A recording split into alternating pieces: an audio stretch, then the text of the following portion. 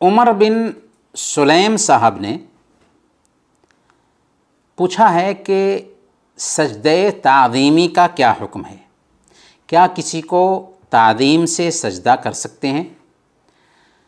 देखें, सजद तादीमी शरीयत मोहम्मदी में जायज़ नहीं है।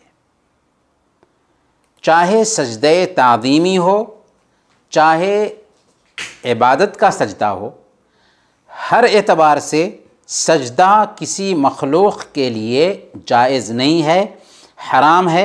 अल्लाह के नबी सल्लल्लाहु अलैहि वसल्लम ने इरशाद फरमाया लौकुन तो आमर अहदन अहदिन लमरतुलमरअत अन तसजुद लदौजिहा अगर मैं किसी को हुक्म देता कि किसी दूसरे के लिए सजदा करे तो मैं एक औरत को हुक्म देता कि वो अपने शौहर को सजदा करे। इस हदीस से शौहर की अहमियत छलकती है, लेकिन दूसरी तरफ़ ये भी समझ में आता है कि हमारी शरीयत में किसी दूसरे के लिए सजदा करना हराम है, जायज़ नहीं है। चाहे वो तादीमी सजदा हो, चाहे इबादत का सजदा हो, इबादत का सजदा है तो ये शिरक हो जाएगा।